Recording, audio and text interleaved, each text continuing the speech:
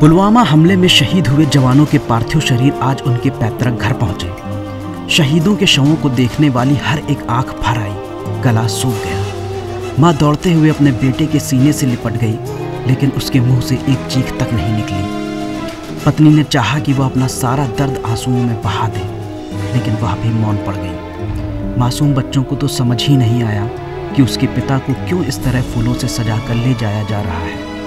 UP के बारह सपूतों ने भी अपने लहू से देश का कर्ज अदा किया और भारतवासियों को अपना कर्जदार बना दिया। चाहे आगरा हो या फिर वाराणसी, शामली, देवरिया, कन्नौज, कानपुर, चंदौली और भी शहर हैं। यहाँ के रहने वाले इन जवानों ने कश्मीर के पुलवामा में अपनी शहादत दी। आज जब उनकी शव यात्रा निकली तो उनके अंतिम दर्शन के लिए जन सैलाब उमड़ पड़ा। वंदे मातरम के नारों से यात्रा गूंज उठी।